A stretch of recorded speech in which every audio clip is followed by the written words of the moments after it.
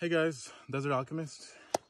Uh, here in the mountains today, um, out of wind or out of breath from all the hiking.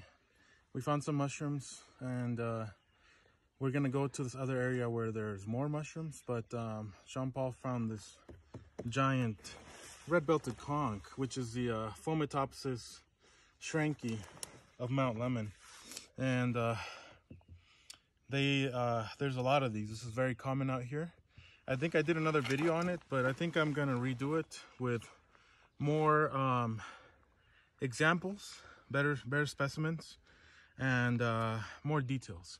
So this conk, usually, right now this one's old and faded. It's still alive, but uh, its color is faded. But usually it has a red band, which is like uh, it's a matte color. People confuse this with reishi because it's red, but reishi's got a very glossy uh, varnish red color to it, and the red and the red belted conk has like a matte, um, faded uh, red color. It's not as uh, uh, shiny as it is with reishi. and also the the tops of uh, Fomitopsis are usually um, very sappy. You touch it and it's sticky, and um, it's not uh, it's not smooth like reishi. It's kind of has a rougher edge or rougher surface. Um, and reishi, when you touch it, it's like plastic. It feels like plastic. It's smooth.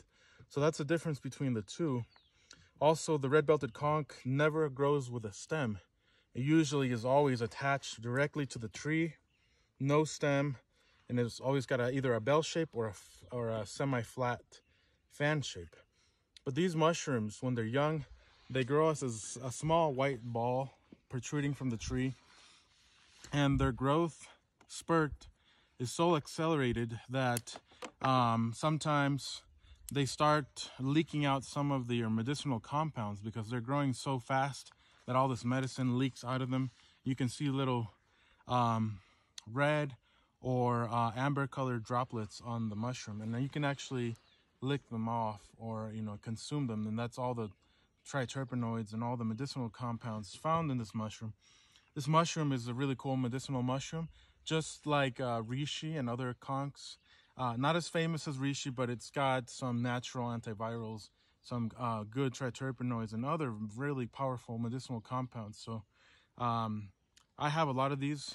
I harvest them a lot, and uh, I collect them. But this is another species that uh, people should uh, harvest if they're into medicinals. But we're gonna keep uh, uh, keep on walking down the mountain, forage some more, and then hopefully we find more examples to show you. I'll tag them or, or I'll add them to the video so you can see the different examples and you can learn how to identify this. So this is Fomitopsis schrenkii and we'll catch you guys on the next video.